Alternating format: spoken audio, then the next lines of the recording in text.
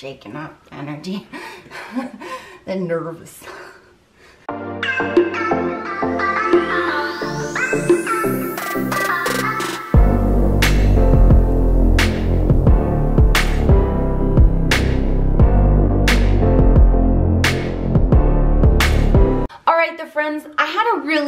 Tough day and I wanted to come on camera and share it with you because I know you guys struggle too. And for those of you that don't know, I have been working on my confidence about owning who I am and not being a people pleaser anymore, not worrying about what other people think, and being more myself on camera, having more fun in my videos, just being more me, which is like, you know, that, and being more me everywhere in life. And I've made a lot of progress in the last couple of weeks. Today, because of that, it was like backlash day in my head. When I woke up, this thing was on me.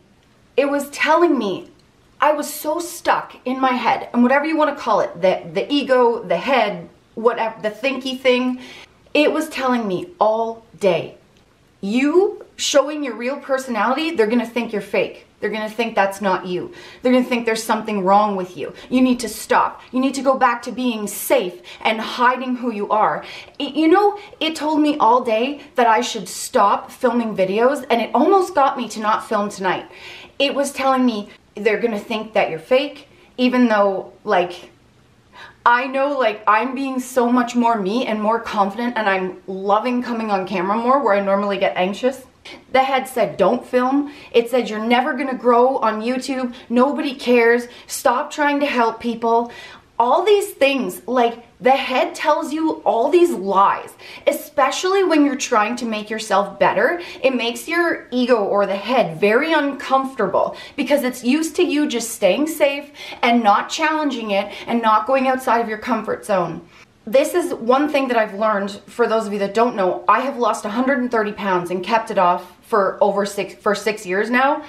And the one thing that I've learned is if you're to grow, it doesn't happen inside comfort zones. You have to get comfortable being uncomfortable. So it's not comfortable right now. Today was super uncomfortable. Trying to be confident, not be a people pleaser, stand up for myself. It felt so awkward. But growing does feel awkward. And so for those of you that maybe have the same confidence struggle or the people pleasing thing like I do, or if you're trying to lose weight or any struggle that you're working on to try to make yourself feel better, know that it's normal to feel weird. It's normal to feel uncomfortable. When I was losing weight, it felt very awkward because I wasn't safe anymore. I was challenging myself to go outside of the box, outside of the comfort zone. And people were always telling me, they were always doubting me, saying, Oh, I doubt you're going to do this. You're going to go back to eating. Well, no. You have to listen to you and know that you're worth it to work through the uncomfortable.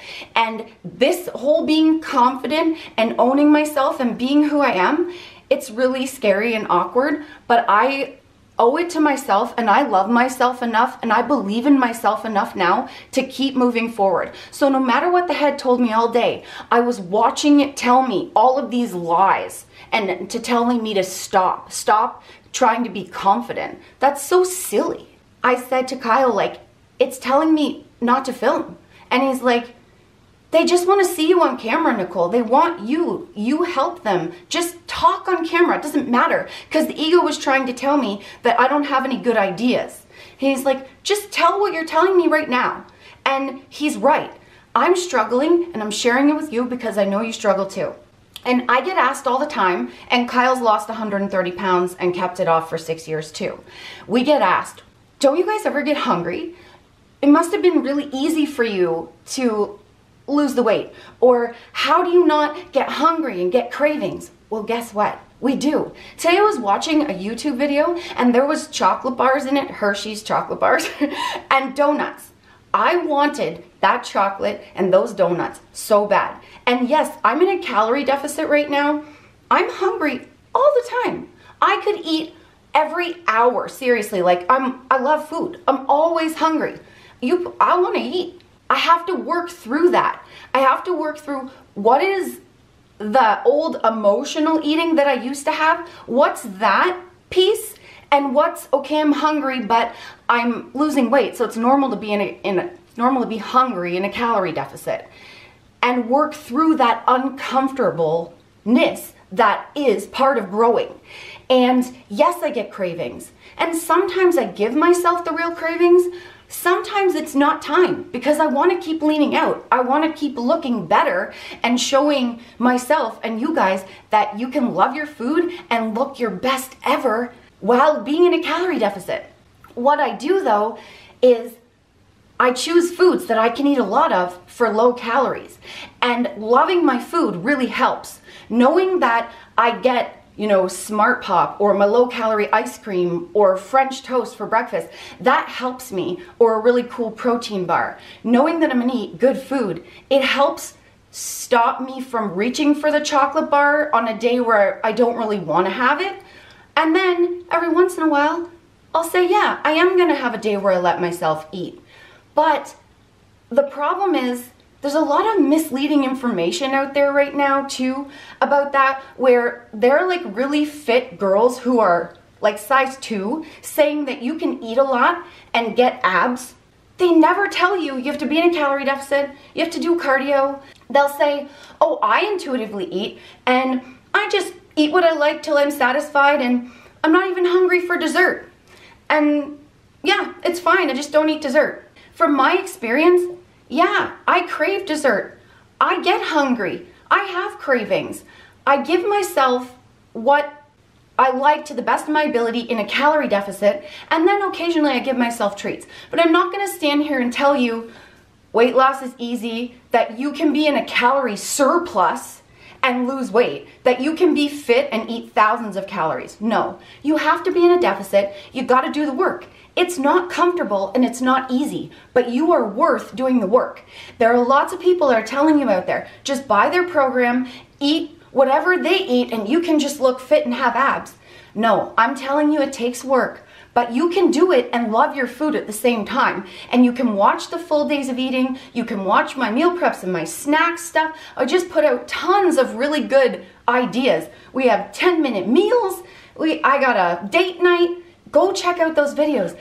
We also refuse to lie to you guys on the other side. There's a lot of channels that are lying to you, telling you they're eating in a calorie deficit, but for some magical reason, they're not losing weight.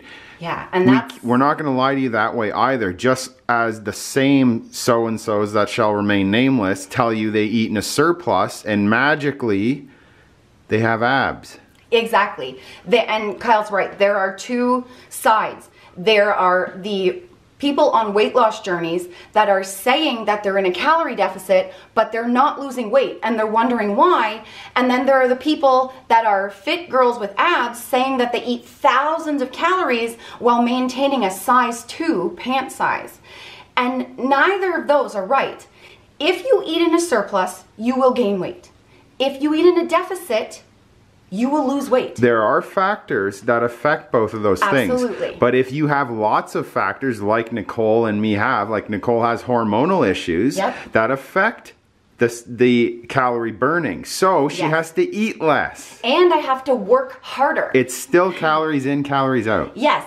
I'm eating about 1900 calories a day in a deficit, and I have dropped 20 pounds since August. I lost actually the 20 pounds in three months, and 6% body fat, eating in a deficit, doing an hour of cardio six days a week. I have to work and I have to eat in a deficit. I have to work harder because of my hormonal issues. I'm 145 pounds, but my small clothes are getting big because I'm in a deficit and I'm still losing inches. Remember, you got it. It's not an easy thing. Some people, yeah, they have great genetics. They don't have to work as hard.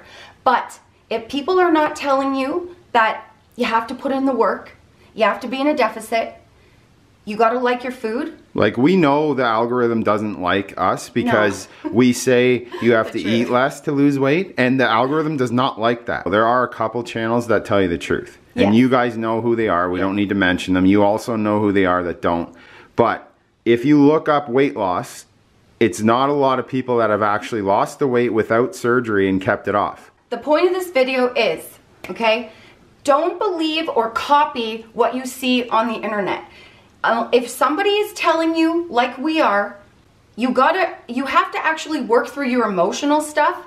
You have to address the confidence. You can't just lose weight and then think it's magically going to stay off without working on those two things, which and is, you know. This brings us back to Nicole's original point. If you are believing in other people's lies and then chasing their physiques, that's going to set you up to have your ego make you feel bad all day. Yes. So if you don't work on those things, if you are an emotional eater and you don't work on it, like I was, I had to work on it. If you are not confident and you're a people pleaser or you know, you don't believe in yourself as much like I did, you have to work on it. And that's what I'm doing. And I have to work every day to maintain this and if I want to lose the little bit of belly fat that I have left, I have to keep working. I have to keep doing my cardio and keep eating in a deficit.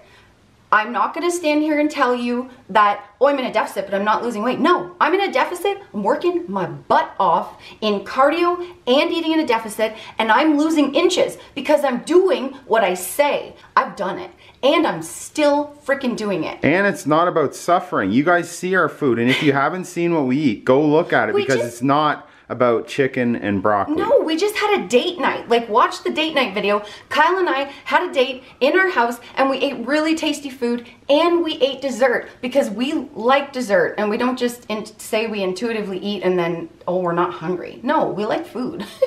so, the friends, believe in yourself enough to work. This is not going to be easy. And this is why the algorithm doesn't push us because we tell you you have to work for it. And some of you, if you have not the greatest genetics like myself, like Kyle, you gotta work a little harder. If you have other things like medical conditions, hormonal issues like me, or medication that makes it harder for you to lose weight, you're gonna have to work a little harder and you might have to eat a little less.